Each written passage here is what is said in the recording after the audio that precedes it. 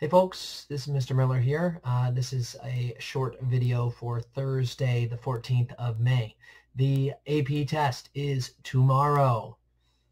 Uh, this is like uh, T minus one day or negative one day or something like that. I don't know what, what how to say that. Uh, but um, hopefully you're all feeling good at this point. If somebody needs some help from me, shoot me an email. I will be uh, nearby my email. So uh, shoot me an email. Let me know what's going on. Uh, we are planning on having a uh, short meeting uh, at the end of, not at the end of the day, mid-afternoon today, so 3 p.m., uh, 3 p.m. today, and also a check-in 3 p.m. tomorrow. So my thought for today, make sure everybody's on the same page, make sure everybody knows what you've got to do for the test tomorrow, make sure everybody's got your entrance ticket and all that stuff, uh, and you've got that all in front of you and ready to go, and also a pep talk. Uh, so that'll be today at 3. Um, tomorrow, I'm mostly interested to hear how the test went. I really shouldn't know any specific details about the test. I don't think I should get that information right away. Uh, I will get that information eventually, but I'm not supposed to be told that information right away, I don't think.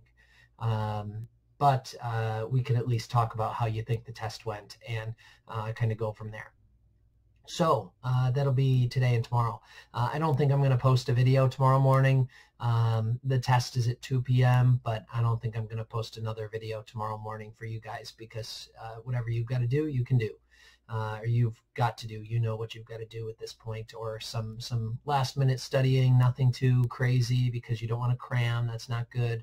Uh, that doesn't help you for the most part, they say, uh, but will at least allow you to kind of focus on what you need to focus on during the day of the test. So that's the deal for today and tomorrow. Again, no new assignments, just uh, continue reviewing. Let me know if you've got any specific questions and those two meetings that we've got set up.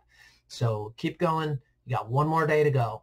Uh, finish as strongly as you possibly can. Uh, so one more day is today and then test tomorrow. So uh, until then, I will see you guys back again uh, this afternoon at 3 uh, on that uh, Google Meet uh, that I sent you an email for. So if you could get on there at 3 o'clock, that'd be excellent. Okay, otherwise I will see you, uh, no, I, I will see you then. Okay, I'll see you then. Uh, I'm going to say goodbye now. Bye. See you at 3.